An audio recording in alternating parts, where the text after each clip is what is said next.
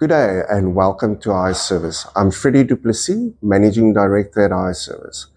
Today we're going to cover the three basic models of space heaters that's available in the market.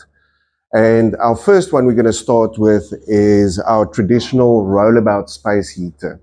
With our traditional rollabout space heater, as you can see, the bottle is situated in the back with the regulator and it has three panels in front, which is controlled with a button, a control button at the top.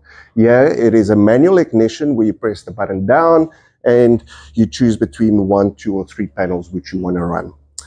The newer model of this traditional um, space, uh, uh, rollabout space heater is our Bromic, And what's nice about this one is it's got a battery at the back and it is battery ignited, as you can see there. What the difference is between this one and this one is this one only radiates heat from the front and this one radiates heat from the front and from the top, which actually fills up your space with heat much better. Then we go over to our high-end units, which are lovely units and normally used for bigger spaces to be, to be heated up.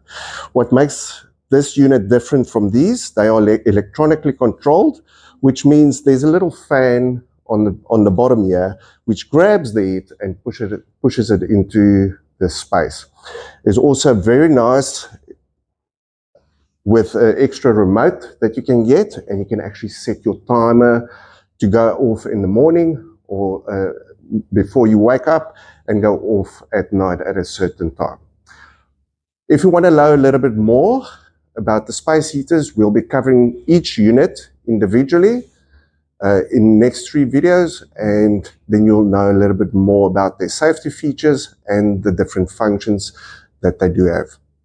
Join us on at Hi Service for the next videos and if you want to find out a little bit more please visit one of our social pages or visit our webpage iService.co.za. Thank you very much. Have a lovely day.